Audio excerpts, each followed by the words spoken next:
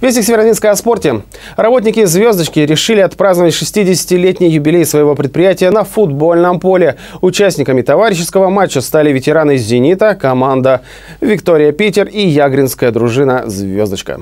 Настоящий праздник под открытым небом. 27 июля. Северодвинск. Пляж Ягры. С 9 утра до 9 вечера. Пятый фестиваль пляжного волейбола, посвященный Дню строителя и Дню города Северодвинска. Команды из Архангельска, Северодвинска, Новодвинска, Котласа, Коряжмы, Вологды, Ярославля, Санкт-Петербурга и Москвы. Пятый фестиваль пляжного волейбола. Приходите, будет жарко. Первый товарищеский футбольный матч между ветеранами «Звездочки» и «Зенита» состоялся в 1977 году.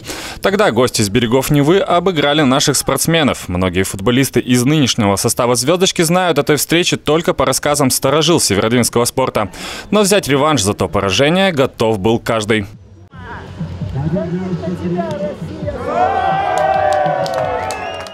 Несмотря на статус товарищеского матча, поддержать ветеранов «Звездочки» пришло большое количество зрителей. И надо отдать им должное, культура боления была на высоте. В первом тайме футболисты Виктории Питер три раза срывали аплодисменты своими забитыми мячами. В начале второй половины ветераны «Зенита» забили еще два гола. Зеленое поле, хорошая погода, зрители, интервью. Все замечательно, все очень хорошо.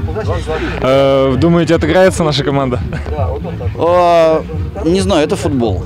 Это футбол, а, ну, стараются. А то, что забьют, я уверен, честно. Уверен, что забьют. Игорь Жандаров оказался прав. Под занавес матча Виктор Басов красивым ударом в девятку забил гол престижа и эмоционально отпраздновал свой успех. Итог матча 1-5 в пользу ветеранов Виктории Питер. Могу сказать, что уровень команды соперника очень высокий. Вы видели сами по игре практически все мячи, что на подборе, что в атаке, все их. Ну, тоже пытались атаковать, несколько моментов были, все-таки забили. Также стоит отметить, что одним товарищеским матчем отношения с ветеранами Петербурга не ограничивается.